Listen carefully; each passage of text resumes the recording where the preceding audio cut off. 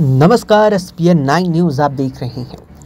लोकसभा चुनाव देश भर में खत्म हो चुके हैं, जहाँ उत्तर प्रदेश में अब की बार समाजवादी पार्टी ने कांग्रेस के साथ मिलकर भाजपा को बेहद ही बड़ा झटका दिया।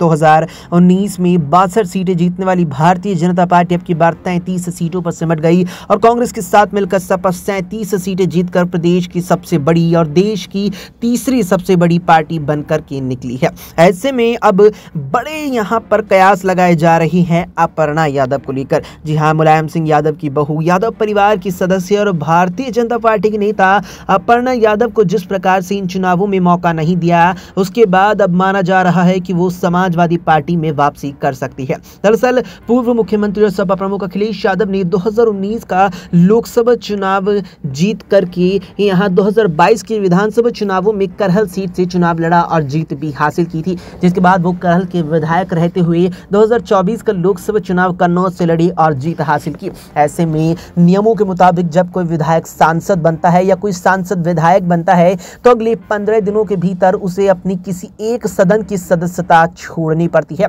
लिहाजा अखिलेश यादव ने अपनी करहल विधानसभा सीट से इस्तीफा दे दिया, जिसके बाद करहल विधानसभा सीट खाली हो गई, जहाँ अब जल्द ही उपचुनाव होने वाला है। ऐसे में माना जा रहा है कि पार्टी के दिग्गज नेता और चाचा शिवपाल यादव, अपर्णा यादव को भारतीय जनता पार्टी छोड़ समाजवादी पार्टी में वापस लाने की गुहार लगा सकते हैं। बता दें कि अपर्णा यादव ने हाल ही में शिवपाल से उनके जन्मदिन पर उनके आवास पहुंचकर मुलाकात भी की थी और दोनों के बीच अच्छे पारिवारिक संबंध भी बताए जाते हैं। जिसके बाद कयास लगाए जा रहे हैं कि शिवपाल यादव अपर्णा को समाजवादी पार्टी में वापस बुलाकर उन्हें करहल सीट से उम्मीदवार बनाने की पेशकश कर सकते हैं। जिसे लेकर अब देखना होगा कि अपर्णा क्या वाकई में भारतीय जनता पार्टी छोड़कर रुख करेंगी? समाजवादी पार्टी का और करहल से चुनाव लड़ती नज़र आएँगी या वो अपनी बीजेपी पर ही विश्वास रखकर उम्मीद करेंगी कि अब की बार उन्हें शायद मौका मिल जाए।